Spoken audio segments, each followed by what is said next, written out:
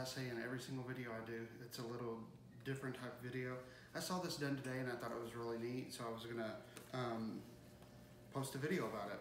So on this video, what you're gonna do is you're going to, we're gonna be taking a drawing, a kid's drawing or any kind of drawing, and we're going in cray- crayons and we're gonna transfer it to a uh, fabric item, whether it be a t-shirt, you could probably do a hat, a tote bag, any kind of item. What you're gonna need is these transfer sheets here. They're the Jolee's Boutique Easy Image. I got these at Michael's. Um, this pack has the light and the dark in it. It's all they had when I bought these. They do have a red pack that it's all light, and I'd go with the light because I'm doing a white shirt and it would show up a lot better on there. And actually I'm doing a onesie because that's all I had available. So what you're gonna do is you're gonna take the, and these, the uh, light one has a yellow line down the back of the page. Hope, hopefully you can see that, it's a yellow line. So you're going to want to either print or draw on this side with crayon. And if you're just having them, they can freehand it, completely freehand. If you're gonna have them freehand, I would have them do an outline in black and then draw it that way. But that's totally a choice if you wanna do that. If you don't, just have them color. So, what I did was I ran them through my printer, and this is inkjet paper. But you don't have to have an inkjet printer. You can just color straight onto the paper. Just make sure they color on the side without the line. So what I did was I printed out some images. Here, easy images. And then, here it is colored. And what you're gonna wanna do is you're gonna wanna cut around your image because if not, if you put this whole piece on your shirt, you're gonna see the big block around it. So it's best to cut around your image. And what you'll, else you'll need is just regular Crayola crayons. I would go with Crayola, it's better quality and it they're cheap. They're super cheap, especially this time of year around school. So this is what it looks like. This is after it's colored. This is what it looks like, and then this is after it's colored. And we did glitter on this one. There's glitter crayons. I don't know how well the glitter is gonna actually transfer though. And then these are actual just freehand, like outline with black and colored, outline with black and colored. And uh, the other thing you're gonna need is an iron. Um, I have a heat press. I'm gonna use my heat press. It's not necessary, but I have it, so I'm gonna use it. And so on a onesie, I always have a piece of cardboard because when you have a onesie, you have snaps, you have um, large hems, and when you go to either iron or heat press a onesie, you're not gonna get even pressure because of those hems and buttons. So I just slip a piece of cardboard in there, like that. That way it raises your part that you're ironing up from those hems. So now what we're gonna do is we're gonna take, oh, and also if you're doing, uh, like if you're doing an image like this, if it has words on it, make sure you reverse it. Because if not, it's gonna be backwards when you iron it down. So we're just gonna take our image, colored with crayons, put it on the onesie here, or the shirt, either or. And then we're gonna press it down. I'm gonna do it for 10 seconds. I have this one set at 325 or 327. I'm, I'm not sure how hot an iron gets. So what I would do is I would do I would do the hottest setting possible that you have and also I'm going to that's curling up. Let me see if I have I have some heat tape in here. I'm gonna use some heat tape. You don't have to have heat tape. I'm just gonna use it because the sides are curling. If I was using an iron, it would be easier because you could just start in the middle and move out. But with me pushing this down on there, if it's wrinkled, it's gonna get crayon all over the heat press. So I'm gonna use a piece of heat tape here.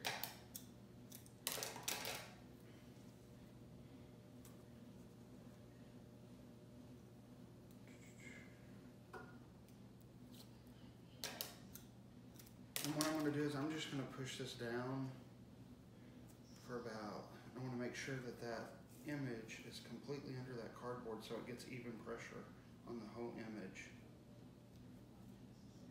Press this down for about 10 seconds. And then what you're gonna wanna do is you're gonna want it to cool. After you've pressed it. There we go. So we're gonna set that one to the side pull out our cardboard so it'll cool faster. I'm gonna go ahead and do the butterfly here.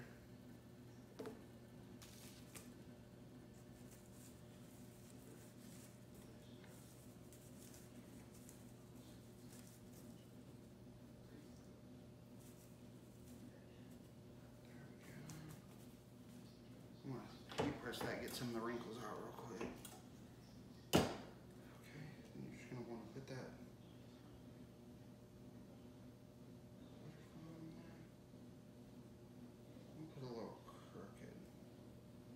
sort of fit on my cardboard. I'm gonna put a, I'm gonna put some, the wings are curling up, so I'm just gonna put some heat tape on there. Just to hold those wings down. Like I said, if you're using iron, you would never, there's no need to use heat tape because you could just start in the middle with your iron and move out. You'd have more control on it. So let's push this down for 10 seconds.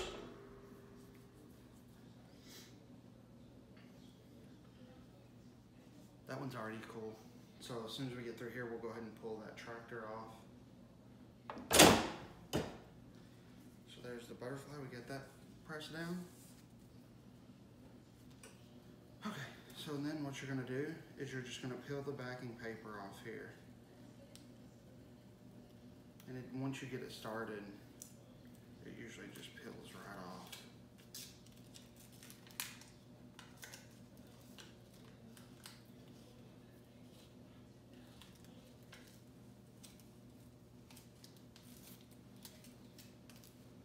There you go. And it's on there, and uh, with this, there's like a protective coating because what it's doing is it's transferring that protective coating on there. So I'm thinking, I'm thinking the glitter will show up on this one. Or I'm thinking the glitter will stay on. I don't, I mean, I don't know. It was just regular crayons that they did the demo with. Yeah, you can see the glitter in this.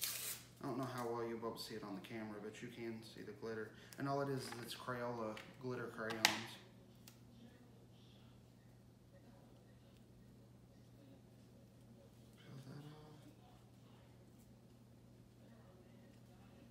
Peel that off. It is hard to get this, there we go. And if there's any backing paper left on here, I'm sure it'll come off in the wash. Cause it's just paper. You could probably wet it and peel it off. I'm thinking the longer you press it, the easier the paper comes off. So that's probably something I'm learning here as well. I just thought this was, I thought this was the neatest thing I've seen in a long time. Who knew? Who knew you could transfer crayons?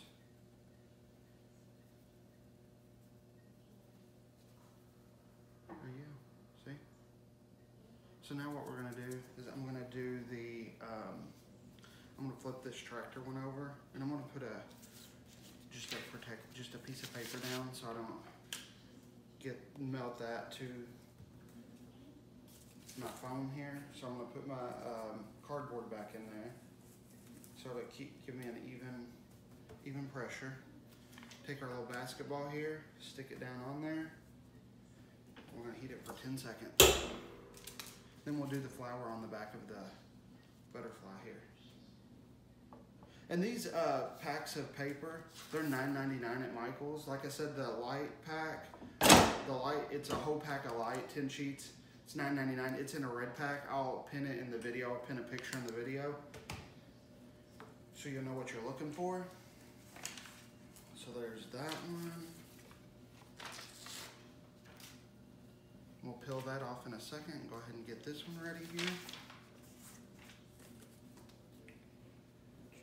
This is a quick and easy. This is really quick and easy. I think the longest part will be to, for the for them to color or draw. I mean, I haven't tried markers or anything, so I'm not sure if markers would work, but the crayons work really well. And if you're doing kids, I mean, that's kind of you saving the artwork, and you can print out like these. I just went online and typed in coloring pages and printed out, and I just did the simplest ones I could find. I'm sure you could get really detailed with them. Just when you cut it out, if you don't care to have that box around it, it's no big deal. You could do a full page coloring page, but I just wanted to cut it out, um, cut around it so it would look better. But when you're dealing with kids or anything, what does it matter? You know, that's kind of part of the fun. So I'm gonna go ahead and take these down here real quick.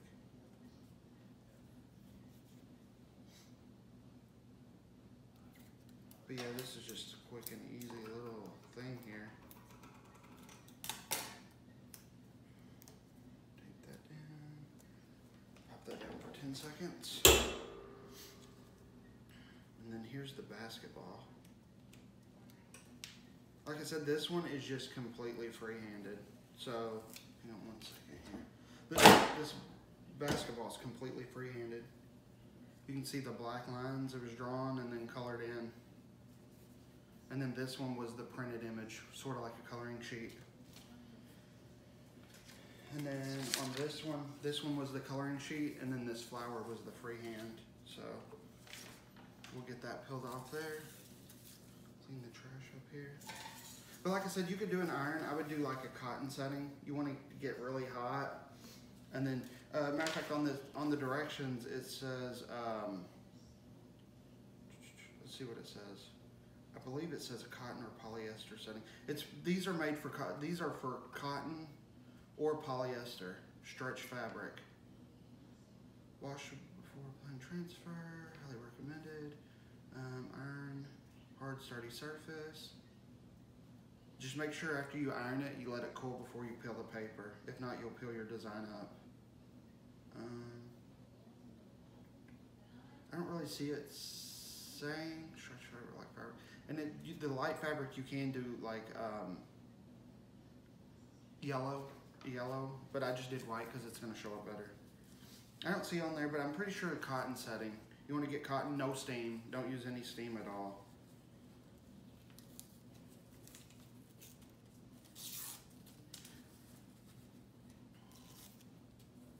I mean, it just, I mean, every little detail that you color on that page, that's exactly what's gonna come out on here. I just thought this was so cool.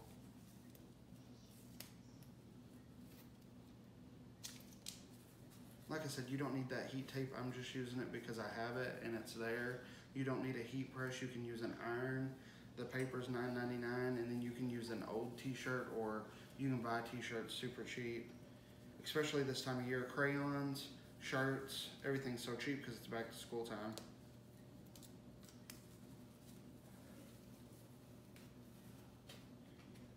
I can get that last little bit of paper off there.